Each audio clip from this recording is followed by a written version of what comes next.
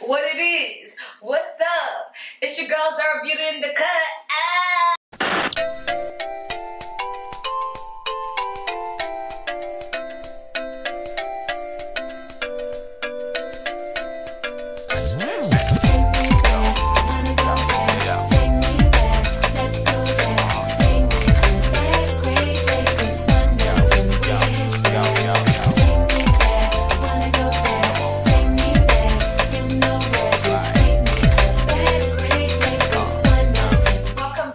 My channel. It's your girl Zara Beauty in the yeah yeah, and I am back, bitch. Yes, I am back with another talking video. I feel like I haven't spoken to you guys in such a long time.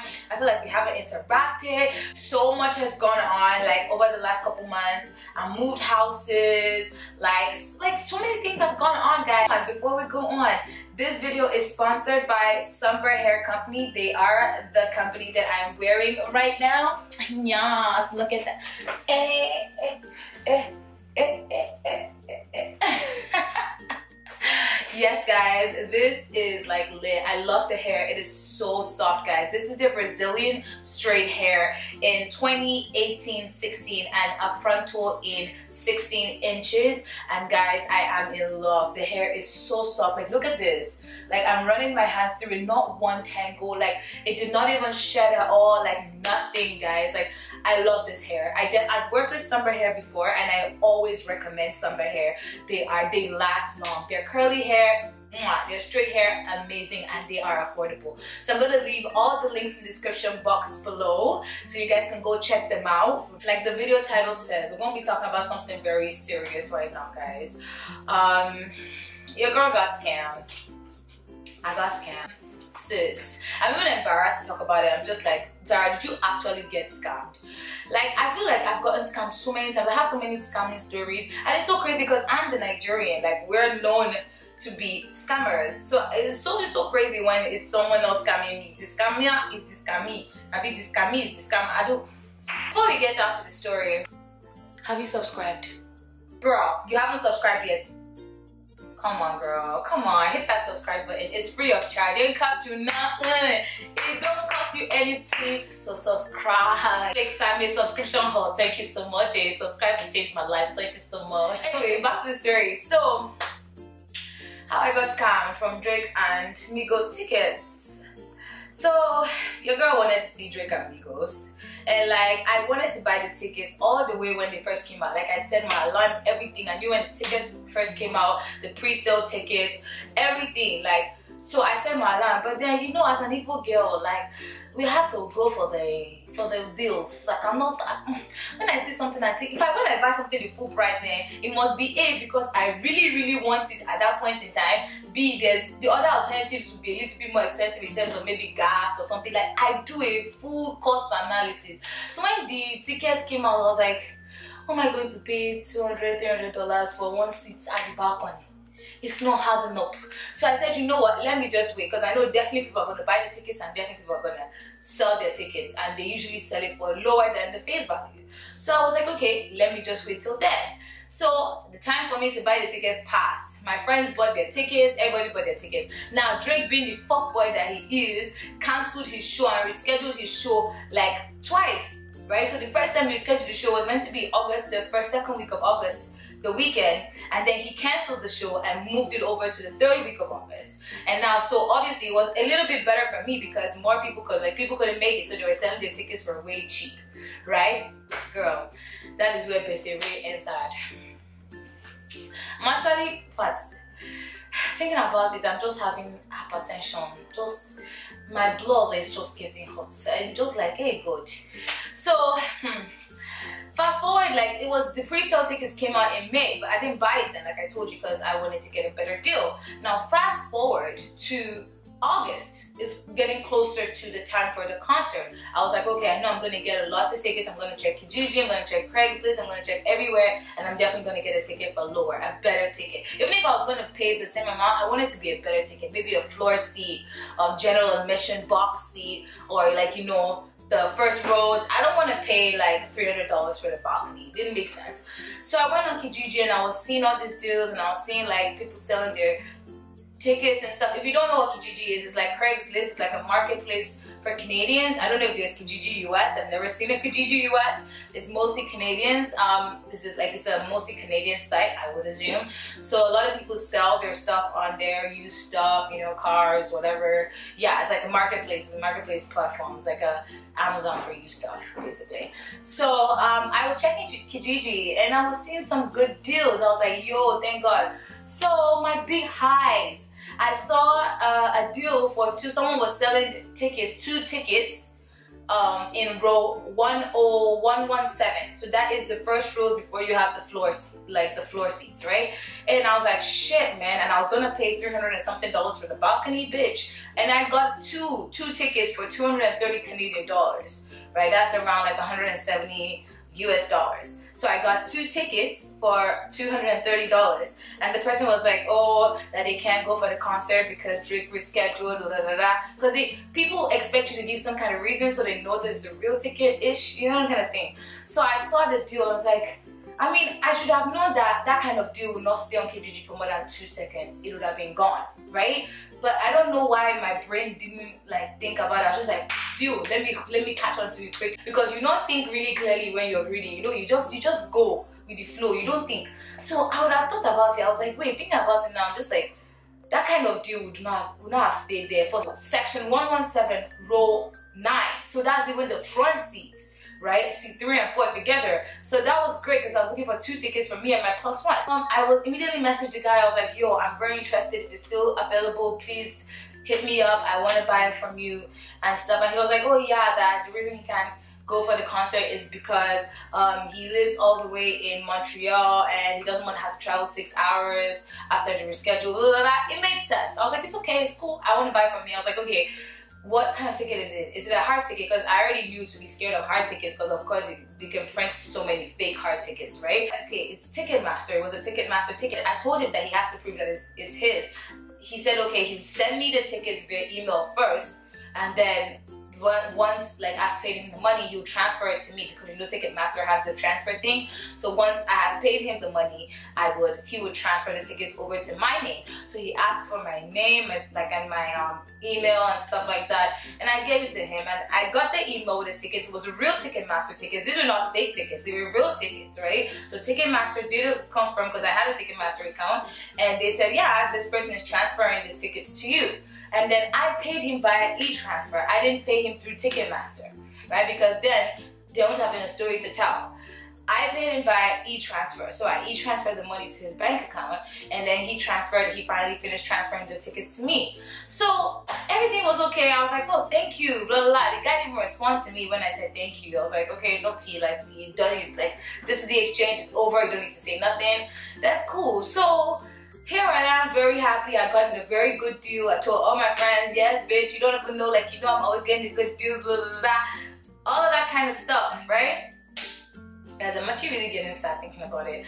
Then the ticket was still good, all fine. Like, I'll check on the ticket every day. I was so excited to see Aubrey and the Migos. I was like, oh my god, I'm gonna, this is gonna, this is meant to be my first concert ever, guys. I've never been to like a concert, like, for hip hop or anything. The only concert I've ever been to is a Nigerian concert, and girl, that's a whole different ballgame altogether. Please let's not go into that, please. Thank you. On the day of, I was very very excited, but then my plus one was like acting up. So like, you know what? Maybe I want to sell the other ticket and let me just go and then maybe sell the other ticket to someone else because I don't, I don't try to, you know, I want someone that will say I'm gonna come and then I'll be waiting for you and then I missed the concert. So uh, I was then looking for how to sell the ticket. So look at me on that day looking for how to sell my ticket and I already started getting offers and stuff. And this was the day, the day of the concert. This was the day of the concert. So I'm looking for who's gonna buy the ticket from me. And then I was like, you know what, let me just go check on my actual ticket. Then I go to my Ticketmaster account and it says the tickets have been canceled. I was like, okay, okay, come again? Like I winked. you know what? I just said what? Like I didn't even know I was at work when I did this. I was at work when I when I was when I checked the tickets. I was just in fact blabbergasted. Blabbergasted. I was like I didn't want to believe what I was believing. I was just like, did they cancel the concert? I went to that check because they canceled the Monday concert but the Tuesday and Wednesday concert still went on as planned. So I was like, there's no cancelled concert, so why are my tickets cancelled? So I called Ticketmaster's um, customer service, and then they tell me beautifully that my tickets were cancelled because it was fraudulent. I was like, what do you mean by fraudulent? Like, I thought initially I thought it was me that was a fraudulent person. Like maybe the person canceled it and, and like tried to sell the tickets again. Do you know what I mean? Like the person probably like sold it to me and canceled it saying I was a fraud and tried to sell tickets again. But you can't do that because once the tickets are transferred to you, it's yours. So I was asking, to I was like, but I this is transferred to me, it's meant to be my ticket. So what do you mean by fraud? And they're like, no, no, no, no, not fraud from your end. But apparently, the person that sold me those tickets had used somebody else's credit card to pay for the tickets. And then Ticketmaster had canceled the tickets. So it doesn't matter if it was transferred to you or transferred to anybody, the tickets were gone. And I was like, you know when you don't understand, was like, you're just in shock. I was just like, eh? what? Like I was, then my co-worker was trying to talk to me. I say, hey, God, God, God, God, you know the kind of mind I have now. Eh? Oh no, please don't talk to me. He was trying to give me some attitude. I say, hey, please, please, I'm meant to see Drake Amigos. Now me and I cannot see Drake Amigos. So please, eh? I was shook. So I now said, please, what can I for? I said, he now said, you have to take it up with the fraud department. I said, please give me the fraud department number because this is not hard help. I said, because in my head, see, guy, I already bought, this was the outfit I was meant to wear for the concert, guys. This was the outfit I was meant to wear for the concert. Fresh and nice. And then, oh guy is telling me my ticket is a fraud. Imagine, like, no, think about it now, week. I was, I didn't even know, I was just like, wow. So I called the fraud department. I said, excuse me, what can I do? I was like, oh, there's nothing they can do. That the tickets were not transferred through ticket, which I already knew, but I just had to make sure everything was like I just had to make sure that I had, had you know, like you just have to, you just, I just didn't know what to do. I called the fraud department. They said that there was nothing they can do about it. That the tickets were bought fraudulently and stuff and then I was like so of all days you want to find out this ticket was in my account till the day of the morning of it's when people know it's fraud. Why didn't you tell me since before I, was transferring the ticket? Why didn't your fraud department? I be able bodied for the why did they not say that it was a fraud before then? Is when I was ready for the, for the concert day. If I ticket master people are all mad. People are crazy individuals your fraud department does not work to the day of the concert and so nobody will come and give you guys wahala. It's now too late. So they, they now said there's nothing they can do about it. I'll just have to go back to the person i bought it from i was like are you fucking kidding me? Obviously the person i bought it from is a fucking scammer. Like am i going to tell him hey the way just take a sip you're fake and you're cancelled and I need my money back. How sweet. But you know i still did it. I sent him a text. I was like hi um the tickets you gave me were cancelled. I told him, see, I don't even care the explanation you want to give me. Please just give back my money. I was like, please just give back my money. Let me just buy a new ticket. And I was like, I said, those tickets were meant to be for uh, my boyfriend's um, birthday, blah, blah, blah, blah. Please just send me the money. Of course, the guy did not respond to me. This is part-time job, you know. And like, it just, it was just very, very annoying. I was just, like you sometimes like I grieve for things that I would have overlooked, you know what I mean? Like I'm the kind of person that I'm very, very hard on myself. Like I'm very I'm very, very hard on myself. Like I don't let myself go for easy things, like things that could have like I mistake or anything, like just little things I beat myself up for it. So I really, really beat myself up for this. But I didn't really let it get me because like I didn't I didn't have the my brain was processing too many things at once. I was already going through intense stress from so many other things. I couldn't even let this sit in. Like I couldn't I couldn't go through this. So I just tucked it away in my heart. I was like, wow. Like I actually got scammed and this would make it the third time I've been scammed within four months since I moved to Toronto. I'm not telling God, is it that this Toronto move is a mistake? Because I mean I, have never been scammed this much time within a short, short time frame. And I'm meant to be like I am a bad bad bitch, you know, like I see these things, but I guess everything's a learning experience. Now I know like they obviously they sell fake tickets. This is my first time ever really being it in that kind of position. And at that day, I was so devastated. I still wanted to go for the concert. I was looking for other tickets, but then, like from the scout, of this fake ticket, I was like, oh my god, like I don't think that I can, I don't think that I can do this anymore. So I had to just let that go. Like I had to let the concert and ticket and money go. And it was just very very just it was just very like tough it. It's money that I would have used for other things, groceries or like savings, rent, bills. There's so many things I would have used that money for, and I don't want to think about it because it's gone and it can't, there's no use crying about spilled milk. But it's just a wake up call for me to be smarter and not jump and uh, everything. And anything that's too good to be true is usually is. So guys, if you're gonna buy tickets if you're gonna buy anything that you know is a one-time use thing, like tickets or phone or anything, make sure you do due diligence and make for something like Ticketmaster. Let me tell you what you should do if you're buying transfer tickets. Get, tell them to give you their order number. Always ask for the order number. Don't if they can't give it to you, it's better don't don't do it. Ask for the order number. Call Ticketmaster and verify that it is real. That is what I learned. I learned the hard way, y'all. So get the order number. Tell them to give you a screenshot of the proof of payment. Proof that they paid for it. Like they can obviously blur their details whatever, but tell them you need proof of payment so that in case of anything, you have that. You need proof of payment, you need your order number, and before you can buy anything from them, call Ticketmaster and verify those tickets because you're gonna end up like me. Apparently, it's a common thing to lose money because of fake tickets. Apparently, it's very common. So, I decided to share this with you guys just in case you guys are thinking of getting tickets anytime soon. Your girl couldn't go see Aubrey and the Migos because I remember I put it on my Snapchat, which should follow me by the way. I put it on my Snapchat that I was going there and you guys saw it. Like I even put a picture of the tickets and stuff. I put it there that, oh y'all, I'm going, the snaps are going to be lit, blah, blah, blah. It was really, really kind of like sad for me not to do it, but at the end of the day, I couldn't let, I couldn't think about that. I couldn't let it get to me because man's got too much problems to worry about Drake and Migos tickets and, and stuff. And at the end of the day, it's money um, it's hard to come by, but we'll survive. Anyway, guys, thank you so much for listening to me today. Thank you so much for tuning in.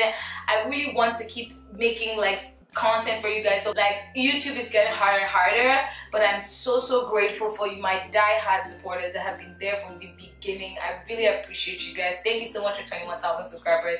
Like I do the absolute littlest nothing, like the minimumest on YouTube, and you guys do work with me. You guys are still waiting for me to drop a video. I really really appreciate it. Thank you so much.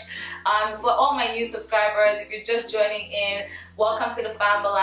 Follow me on all my social media because that's where it's I'm very active on social media, especially Snapchat because it's quick, it's 24 hours and it's gone. I don't have to make up, I don't have to do nothing. So you guys should definitely follow me on there. I'm trying to build my follower base on Snapchat so that I can do just exclusive content just for Snapchat. So make sure you, you know, follow me on Snapchat and Instagram because I also do stuff on there as well. Anyway guys, thank you so much for watching and make sure you check out the links in the description box below if you're interested in the hair and I will see you guys in my next video. Bye bye.